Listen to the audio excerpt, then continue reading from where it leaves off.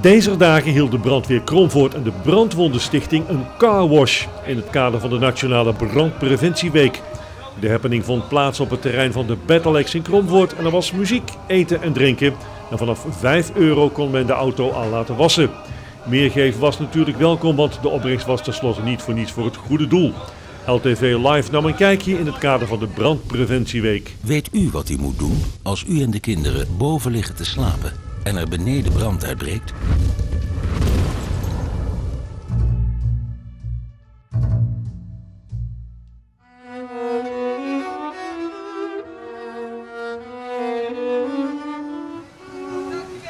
Maak een vluchtplan, zolang het nog kan. Het is vandaag de laatste dag van de Nationale Brandpreventieweek. En eh, normaal gaan we eigenlijk altijd Kromvoort rond met eh, bussen langs de deuren. Maar een paar leden van ons die dachten van eh, misschien is het wel een keer leuk om een autowasdag te doen. En puur alleen maar om meer geld te genereren eigenlijk voor de Brandwondenstichting. En volgens mij gaan we dat uh, ruimschoots halen.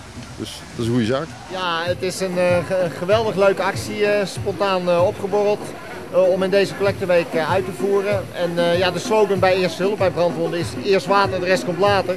Dus dat is helemaal toepasselijk op een carwash evenement. Nou, hoe bijzonder is het dat een brandweerkorps jou op deze manier geld inzamelt? Uh, dat is uh, vrij bijzonder. Ik heb het nog niet meegemaakt in de periode dat ik actief ben voor de Brandwondenstichting. Dat een brandweerkorps een uh, carwash-actie onderneemt. En ik vind het geweldig leuk, want er is heel veel reactie vanuit Comfort zelf. iedereen komt vandaag bijna met zijn auto hier naartoe. Fantastisch. Ja, wordt er in de landen wel op andere manieren geld ingezameld of is het vaak ook deur aan deur? Het is met name in de collecteweek natuurlijk veel deur aan deur.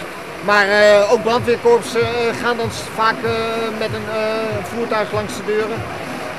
en in die week zijn er inderdaad vele andere acties omheen. Maar deze is een hele leuke. Nou, volgens mij zijn er nou omstreeks 60 auto's gewassen. En het is een uur of half vier. We gaan nog een half uur door. Dus ik hoop de 75 te halen eigenlijk. Dat zou mooi zijn. Dat is heel erg belangrijk, want we doen het allemaal voor mensen die zware brandwonden hebben opgelopen. Ehm, er zijn dus een aantal projecten waar zij aan deel kunnen nemen. We hebben Nationale Brandwondendag. Die is straks weer op 3 november in eh, Amersfoort. Maar ook heel erg belangrijk is dat we voorlichting geven eh, om te voorkomen dat mensen brandwonden oplopen. Mensen uh, beseffen vaak niet dat ze heel veel in de eigen woonomgeving kunnen doen om te voorkomen dat het misgaat. Ja, het is zeker een bijzondere dag. we hebben dit initiatief genomen om, om, om dit Dakar was te doen in plaats van uh, met, de, met de uh, collectebus rondgaan. En uh, ja, het is een enorm succes, denk ik. Ja, hoe is het gesteld op het gebied van de preventie? Ja, het is nog een heel slag te halen. als je al hoort dat de gasleidingen van, niet goed met kunststof in de nieuwbouwhuizen zitten, dan is ook bij de mensen die er verstand van denken te hebben nog een slag te halen.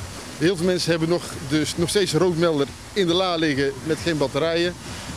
Dus er valt nog heel veel uh, te halen bij de mensen om hen bewust te maken van uh, goede brandpreventie. Ja, de meeste mensen hebben nog zoiets, als ik brand heb, dan bel ik de brandweer van Kroonvoort en die komen het blussen.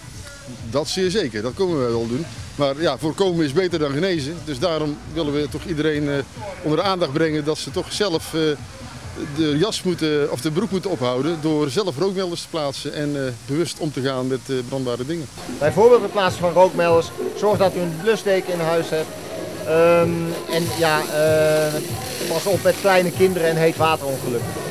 Die boodschap wil ik zeker ook meegeven.